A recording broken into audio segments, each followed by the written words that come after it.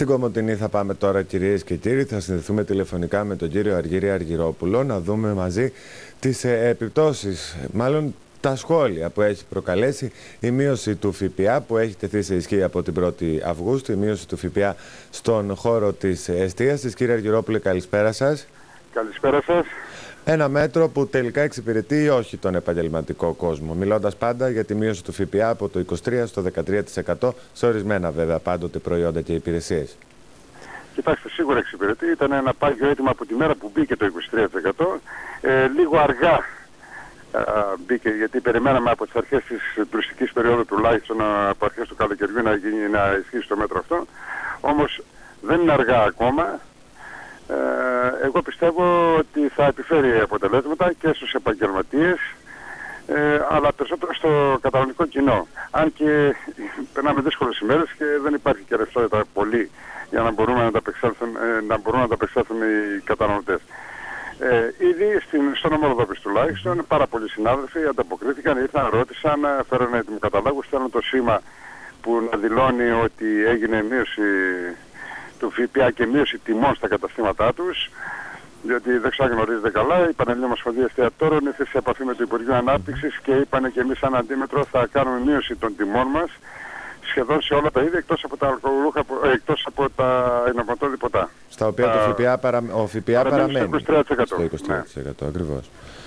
Από εδώ και πέρα λοιπόν, τι είναι αυτό, στο, αυτό που προσδοκούν οι επαγγελματίες, κύριε Αργυρόπουλε, από αυτήν; Τουλάχιστον mm -hmm. ψυχολογικά οι καταναλωτές να, να μπουν στα μαγαζιά μας, να μπουν στα καταστήματά μας ξανά και να πούνε ότι πέσανε τιμές. Αν και περισσότεροι συνάδελφοι έχουν να, βάλουν, να αυξήσουν τιμές εδώ και 2-3 χρόνια.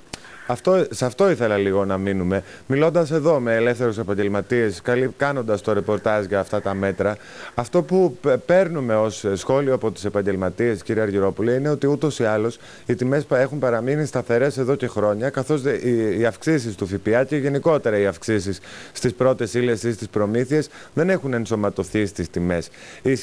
Αυτή είναι μια άποψη που την ασπάζεστε εσείς; Ναι, είναι σίγουρο αυτό ότι και οι αυξήσεις του ΦΠΑ απορροφήθηκαν από τους επαγγελματίες και οι αυξήσεις στις πρώτες ύλες πάντα απορροφήθηκαν εδώ και τουλάχιστον 2,5 με 3 χρόνια από τους επαγγελματίες. Όμως ε, βλέπετε ότι κάθε μέρα οι μισθοί πέφτουν, οι συντάξεις κατεβαίνουν ε, και εμείς, σαν ένα αντίμετρο, ας πούμε, λέμε να μειώσουμε τις τιμές 5 με 10%. Το πώς θα εξελιχθεί αυτό το μέτρο, κύριε Αργυρόπουλε; Κοιτάξτε. Ε, παρακαλώ, παρακαλώ. Κοιτάξτε, η, ο κ. Πρωθυπουργός έβαλε ένα όριο 6 μηνών. Σε 6 μήνες δεν θα υπάρχουν αποτελέσματα. Δεν μπορεί να υπάρχουν αποτελέσματα. Το μόνο σίγουρο είναι ότι πολλοί συνάδελφοι οι οποίοι δεν μπορούσαν να ανταποκριθούν να πληρώσουν το ΦΠΑ θα το πληρώσουν τώρα διότι θα είναι λιγότερο. Ναι, από αυτό όμως που έρχεται ως ανησυχία από τον κλάδο των ε, επαγγελματιών της εστίασης είναι το αν θα συνεχιστεί ή όχι. Γιατί ε, υπάρχει, ε, λέγεται ότι το μέτρο αυτό εφαρμόζεται πιλωτικά προς το παρόν και κάποια στιγμή θα επανεξεταστεί η συνέχιση του ή όχι ή ο προσδιορισμός ενός άλλου συντελεστή όπως και να έχει. Ε, Πιστεύετε ότι θα μπορέσει να σταθεροποιηθεί, να μονιμοποιηθεί αυτή η μείωση, να, να παγιωθεί σε αυτό το ποσοστό; Εγώ πιστεύω ναι, διότι και την άλλη φορά όταν ήταν Υπουργός Οικονομικών ο κ. Βενιζέλος και έκανε αύξηση του ΦΠΑ, ε, έτυχε επειδή είμαι και σίγουρος στην Πανελλήνια Ομοσπονδία Εστιατόρων, να του συζητήσουμε να του πούμε ότι με το μέτρο αυτό κάνει στους κλέφτες πιο κλέφτες, φορο, δηλαδή φορολογικά, αλλά και τους τίμιους να σκέφτονται να κλέβουν. Αυτή τη στιγμή είναι πολύ πιο εύκολο, ας πούμε, διότι το 23% αν σκεφτείτε, σε ένα λογαριασμό 100 ευρώ ήταν 23 ευρώ. Είναι το ένα Και με, με την πίεση των τιμών σήμερα και αυτά δεν έμενε τίποτα για τον επαγγελματία. Αυτή τη στιγμή όμως έστω και το 10% αυτό είναι αρκετό. Τελειώσαν οι εποχές που δουλεύαμε για να κάνουμε λεφτά. Ε, τώρα λέμε να βγάζουμε ένα μεροκάματο για να ζήσουμε.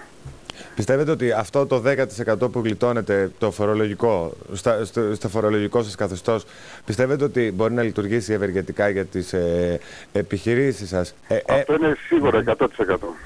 Από εκεί και πέρα, πιστεύετε ότι οι συνάδελφοί σας θα είναι συνεπείς στην απόδοση του ΦΠΑ, γιατί όλη αυτή η κατάσταση που έχει διαμορφωθεί με τη μείωση του ΦΠΑ θα συνοδευτεί και από ελέγχους στου ΔΟΕ, όπως ε, διαμηνεί ναι, το ναι, Υπουργείο. Ναι, Σε κάποιες περιοχές, μάλιστα, έχουν ήδη αρχίσει.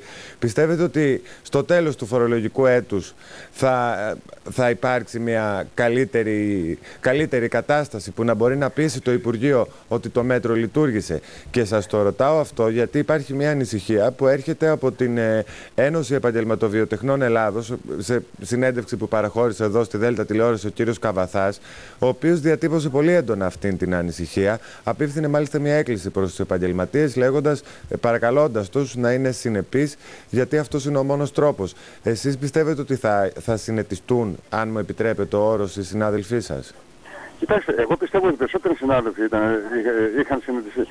Αλλά απλώς αυτή τη στιγμή είναι πολύ πιο εύκολο. Δεν είναι τα χτυπάνε όλα, διότι η απόδοση ΦΠΑ θα είναι πολύ μικρότερη. Και ένα δεύτερον, πάρα πολλοί συνάδελφοι δεν μπορούσαν να μαζέψουν το 23% αυτό. Διότι η δίρυα ήταν τόσο χαμηλή, τα έξοδα τα λειτουργικά πάρα πολλά και δεν μπορούσαν να αποδώσουν ΦΠΑ. Και ήταν πάντα, δηλαδή, χρηστό στην εφορία. Σήμερα θα μπορέσει, δηλαδή το ελληνικό δημόσιο σίγουρα θα εισπράξει το ΦΠΑ πολύ πιο εύκολα από ό,τι ε, χτες. Ένα αναμονή λοιπόν το, ναι. της εξέλιξης αυτού του μέτρου. Φαντάζομαι ότι και εσείς παρακολουθείτε την εξέλιξη με τους συναδέλφους. Μόνο πράγμα ότι έχουν γίνει πολλά λάθη, mm -hmm. διότι δεν ξέρω είδατε την νομοθεσία το, που βγάλανε, το νόμο που βγάλανε, εξαιρεί το αναψυκτικό από το delivery, εξαιρεί τα κέντρα διασκέδασης ε, ε, εμείς λέμε ναι στα κέντρα διασκέδασης που πολλάνε μόνο διασκέδαση, αλλά υπάρχουν και κέντρα τα οποία έχουν φαγητό, δημιουργούν εκδηλώσεις όπως γάμους, mm-hmm. βαφτίσεις και οτιδήποτε. Ε, εγώ πιστεύω ότι ήταν ένα βιαστικό μέτρο και δεν ε, πιάσανε την λεπτομέρεια. Υπάρχει χρόνος, λέτε, να διορθωθούν όλα αυτά; Εγώ πιστεύω ναι. Θα, θα δούμε από τον κλάδο συντονισμένη κίνηση, διορθωτική. Ήδη έχουν γίνει κάποιε διαμαρτυρίες για διορθώσεις, ας πούμε. Είδαμε αυτά. Εν αναμονή λοιπόν του πώς θα εξελιχθεί. Προς το παρόν κρατάμε αυτή τη μείωση αναζητώντας τα ειδικά σηματάκια που έχουν προμηθευτεί οι καταστηματάρχες. Κύριε Αργυρόπουλο, σας ευχαριστώ πολύ. Να είστε καλά. Γεια σας.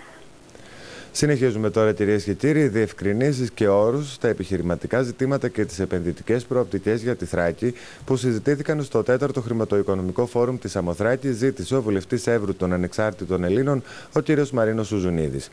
Κύριο ζήτημα που θέτει ο βουλευτής είναι το πέρασμα από τη θεωρία στην πράξη, προκειμένου, όπως επεσήμανε, να σταματήσουν οι συζητήσεις επί συζητήσεων και να δούμε έργα ανάπτυξης και δημιουργίας θέσεων στην περιοχή της Θράκης.